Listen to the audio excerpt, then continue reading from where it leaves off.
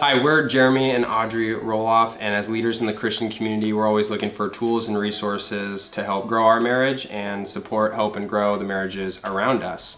And one thing we've noticed is a lot of marriage tools tend to be overcomplicated, trying too hard, or simply untried and untested. That's why we're really excited to share with you guys the Marriage Journal. If you're watching this, you're likely a leader or have influence to some capacity in a small group, in church, in your community. Mm -hmm. And we hear from married couples all the time like that, that are introducing this marriage journal to every single person they know that gets married, that carry them in the trunks of their car and give them out to married couples and people that are 30 years married that are reaping the benefits of this marriage journal. And so we wanna invite you to be that person that introduces this resource to your community to help us get this journal in the hands of every single married couple um, so that it can continue to be a communication tool in people's marriages for years to come.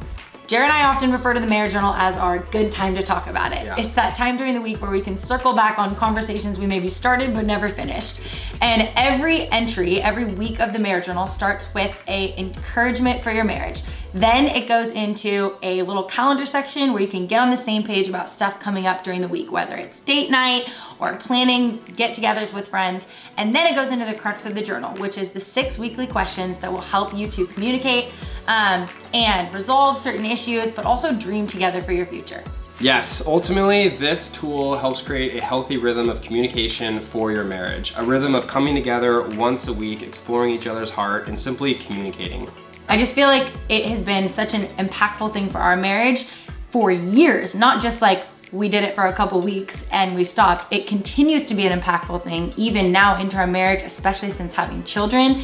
And we have seen the impact that it's had on other marriages around the world at all different stages in their marriage, whether they're newlyweds, with young kids, or even some yeah. people that are our parents' age that do this marriage journal as a communication tool. So it can impact you wherever you're at, whatever stage you're at in your relationship.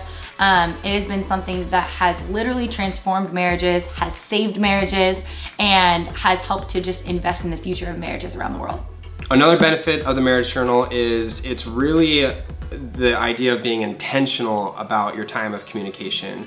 Uh, you know, we a lot of couples are like, we communicate great, we communicate great, and like, yeah, we like to think we communicate great as well. But mm -hmm. that being said, weeks in the in the hustle and bustle of life, weeks can sometimes go by where you know, you just don't communicate. Intentional conversation. The Marriage Journal puts the heels in the sand of life and says, nope, stop. Our marriage is really important, so mm -hmm. important, we're gonna intentionally set aside 30 minutes a week yeah. to communicate and do this, this journal. So it's really just, it's a statement of commitment. It's an intentional time to communicate. And that's been part of the power of the marriage journal. And we really believe that this journal can be a resource for you as you are equipping married couples in your community to grow in their marriage, to stay connected, to stay in love, yeah. to ultimately impact their marriages for years to come.